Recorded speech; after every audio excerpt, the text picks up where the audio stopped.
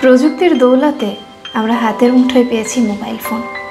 কিন্তু কোথাও গিয়ে কি আমাদের মনে হয় না আমরা অনেক বেশি মোবাইলের উপর নির্ভরশীল হয়ে গেছি?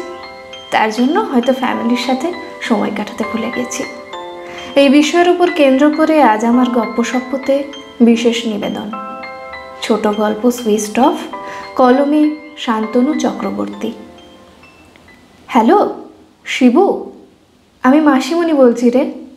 হ্যাঁ মাসিমণি, বলো। কেমন আছো? এত সকাল সকাল? কি ব্যাপার? সব ঠিক আছে তো? হ্যাঁ ঠিক মানে সব মোটামুটি আছে, কিন্তু তোর মেশো কি হলো মেশোর? হ্যাঁ মানে তোর মেশো কি তোদের বাড়ির ওদিকে গেছিল সকালে? না, দেখিনি তো। আর তাছাড়া এত সকালে এখানেই বা কেন আসবে? কি ব্যাপার বলো তো? কি যে বলি, সে কোন সকালে মর্নিং ওয়াকে বেরিয়েছে। এখনও বাড়ি ফিরলো না। ফোনটাও সুইচ অফ। ও, দেখো রাস্তার কারোর সাথে হয়তো চা খেতে খেতে গল্প করছে। রিটায়ার করার পর আর কাজ কি আছে? হ্যাঁ দেখি। তা তোদের ওদিকে গেলে একটু জানাস তো। আর মাংস জ্বালিয়ে খেলো একেবারে। আচ্ছা মাসিমণি, জানাব। ফোনটা রেখে প্রভা একবার ঘড়ির দিকে তাকালো। ঘড়ির কাঁটা দশটা ছুঁই ছুঁই। সারা সংসারের কাজ পড়ে আছে। অথচ লোকটার সামান্য কাণ্ডজ্ঞান যদি থাকে। এক্ষুনি হংকং থেকে প্রতিমা ফোন করবে। আর এদিকে ওনার দেখা নেই। তার উপর আবার মোবাইল ফোনটাও বন্ধ। কতবার করে মোবাইলে চার্জ দেওয়ার কথা বলে প্রভা। কিন্তু কে কার কথা শোনে? নিজে যা ভালো বুঝবে, তার থেকে এক চুলো সরানো যাবে না অমিতকে। সে বিয়ের পর থেকেই দেখছে, অনমনীয় জেদ এই বাড়ির সবার। আর এই সংসারে খেটে খেটে প্রভার জীবনটা শেষ হয়ে গেল। এখন এসে দুটি প্রাণীতে ঠেকেছে। মেয়ে প্রতিমা থাকে হংকংয়ে, আর ছেলে অভি থাকে কানাডাতে। বছরে একবার করে মা বাবার কাছে আসে। প্রতিমা দিনে একবার নিয়ম করে খোঁজ নেয়। অভির সেবালায়ও নেই। কালে ভদ্রে একবার হয়তো ফোন করে। এইভাবেই চলছিল শেষ কয়েকটা বছর।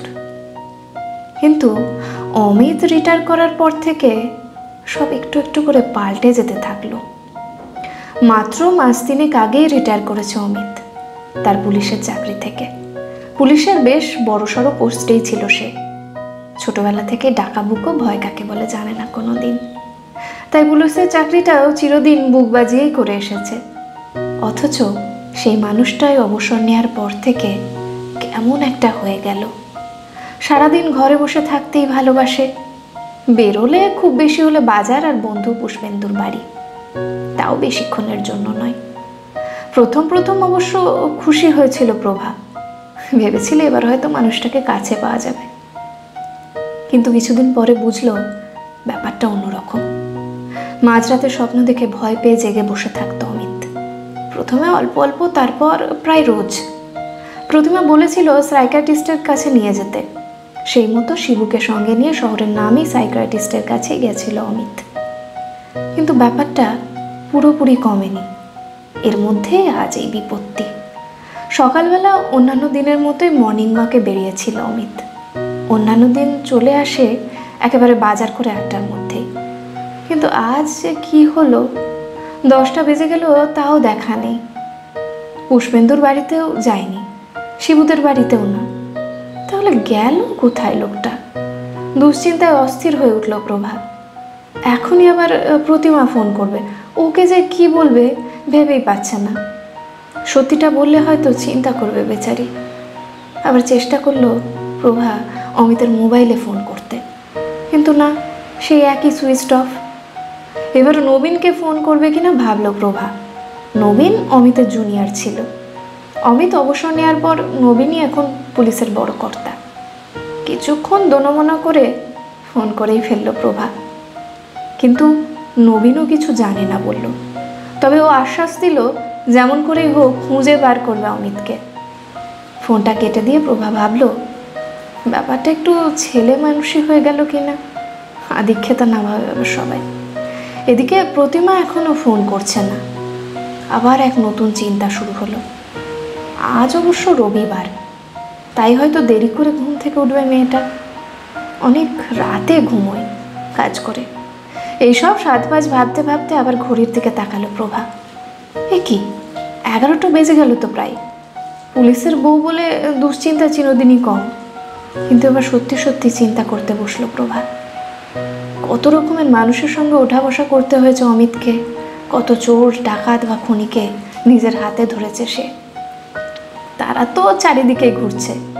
সুযোগ পেলে তারাও কোনো ক্ষতি করতেই পারে। আর ভাবতে পারল না প্রভা। এই পল্টু, গাড়ি বের কর। কোথায় যাবেন কাকিমা? পার্কের দিকে যাব। আমি নামছি পাঁচ মিনিটের মধ্যেই। আচ্ছা পল্টু একবার সময় দেখে নিল ঘড়িতে। পল্টুর সঙ্গে কথা বলেই তাড়াতাড়ি একটা শাড়ি পরে নিল প্রভা। অনেক দিন বাইরে যাওয়া হয় না, তাই শাড়ি খুঁজতে একটু বেশ সময় লেগে গেল। কপালে সিঁদুর লাগিয়ে জল খেয়ে আলমারিতে তালা দিয়ে যাবে প্রভা। এমন সময় ডোর বেলে বেজে উঠল। প্রায় দৌড়ে গিয়ে দরজা খুলল প্রভা। হ্যাপি বার্থডে মা। প্রায় একসাথেই বলে উঠল প্রতিমা আর অভি। একটু পেছনে দাঁড়িয়ে স্মিত হাসি অমিতের মুখে।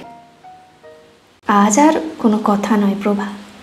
যতদিন চাকরি করেছি, তোমার জন্মদিন পালন করতে পারিনি কোনো দিন। তাই আজ আমরা সবাই মিলে তোমার জন্মদিন পালন করব। আজ আমাদের সবার মোবাইল বন্ধ থাকবে। সব কাজ থেকে আজ আমাদের সুইচ অফ আজ সারাদিন শুধু তোমার। শুভ জন্মদিন প্রভা।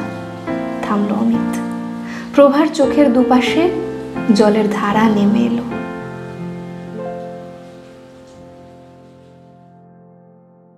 আরও গল্প শুনতে হলে গপ্প সপ্পথে চোখ রাখুন। আর এই গল্পটি ভালো লাগলে অবশ্যই লাইক শেয়ার করুন।